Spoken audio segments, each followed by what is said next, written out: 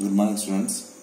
Today we are going to discuss an important topic in chemistry, Dalton's law of partial pressure. First of all, we are going to see the law. The total pressure of a mixture of non-reacting gases is the sum of partial pressures of the gases present in the mixture. Uh, okay. First of all, we are going to see a diagram. Okay. Now let us consider a container. It is filled with the hydrogen gas and connected with the pressure gauge. In the pressure gauge, the pressure is equal to 4 atmosphere. Now let us consider another container that is also filled with N2 gas. It is also connected with the pressure gauge. The pressure is equal to 3 atmosphere. Now let us consider another container. It's filled with uh, oxygen gas, also with the pressure gauge in which pressure is equal to 5 atmosphere. Okay. Let us consider three containers. One, two, three. Okay. In the first one, hydrogen gas is taken. In the second one, nitrogen gas is taken. The third one, oxygen gas is taken. In the first one, the reading is equal to 4 atmosphere. In the second one, pressure is equal to 3 atmosphere. The third one, the pressure is equal to 5 atmosphere. Now, this hydrogen gas, nitrogen gas and oxygen gas, all are taken in a mixtures. So, it forms the gaseous mixture. Then, this container also connected with a pressure gauge. In the pressure gauge, the pressure is equal to the summation of partial pressure of hydrogen gas, nitrogen gas and oxygen gas that is equal to 4 plus 3 plus 5 that is equal to 12 atmosphere. Therefore contains a hydrogen, nitrogen, oxygen gases as a result of it, it makes the gaseous mixture. Therefore, the total pressure is equal to the sum of the 4, 3, 5 atmospheres as a result it is equal to 12 atmosphere. Okay. Now we are going to see the derivation. According to ideal gas equation, P into V is equal to N into R into T.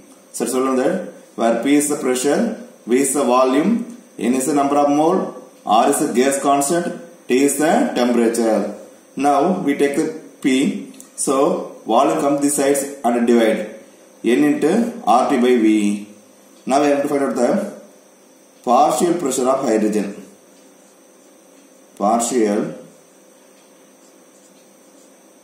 pressure of hydrogen so that is taken P1 then partial pressure of nitrogen that is taken as P2 then partial pressure of oxygen that is equal to P3. So partial pressure of hydrogen is equal to P1, partial pressure of nitrogen is equal to P2, partial pressure of oxygen is equal to P3. Now we are going to find out the value of P1 by using this equation. P becomes a P1 and N becomes a N1 into RT by V. So this is the equation number 3.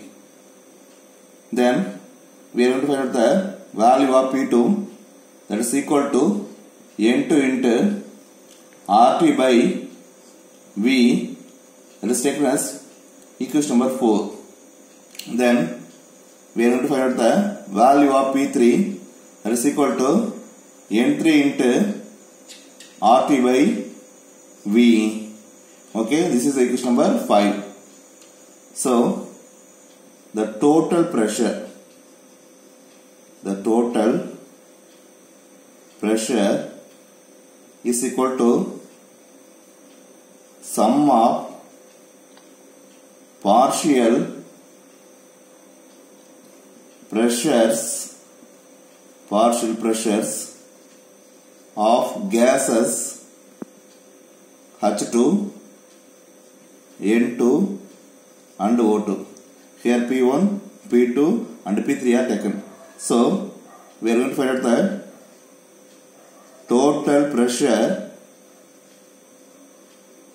that is taken as PT is equal to P1 plus P2 plus P3. This is uh, a equation number 6. Now we are going to substitute the value of P1, P2, P3 in the equation number 6.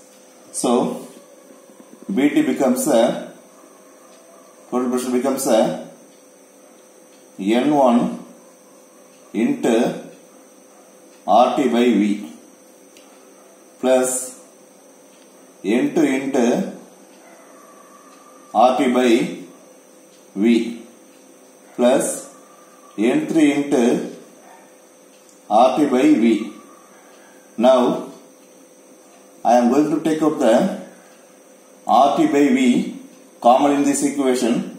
It becomes a N1 plus N2 plus N3 into RT by V. Okay, this is the equation number 6. Okay, this is the equation number 6. Then, so we get the total pressure. Total pressure is the sum of N1 plus N2 plus N3 into RT by V. Okay, now I am going to divide.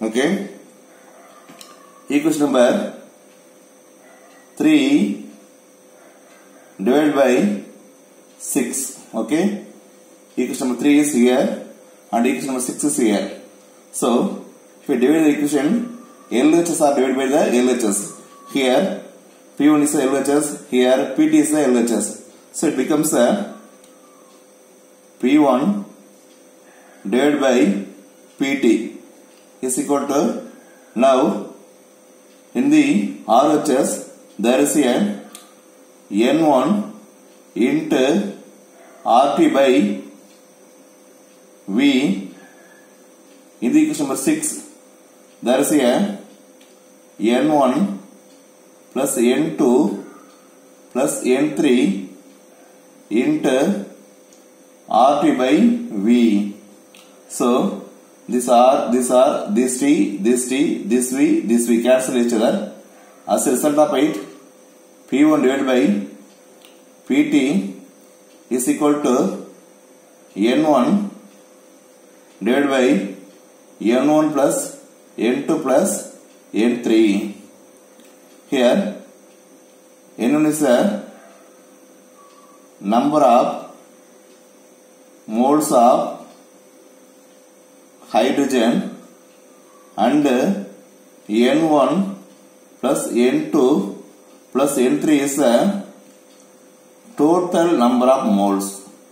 Total number of moles of H2, N2 and O2.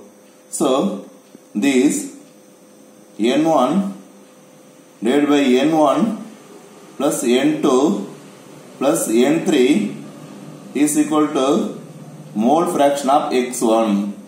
So, now we are going to take the, this equation as 7. Now substitute the value of this X1 in the equation number 7. It becomes a P1 by PT is equal to X1. Then it comes here as a result of it, it becomes a P1 is equal to X1 into PT. So, from the Dalton's law of partial pressure, we are going to derive that from this equation, the partial pressure, the partial pressure of any gases is a product of mole fraction into total pressure. Look student, this is a, a very important video. Watch the video, use the video, also subscribe the channel. Thank you.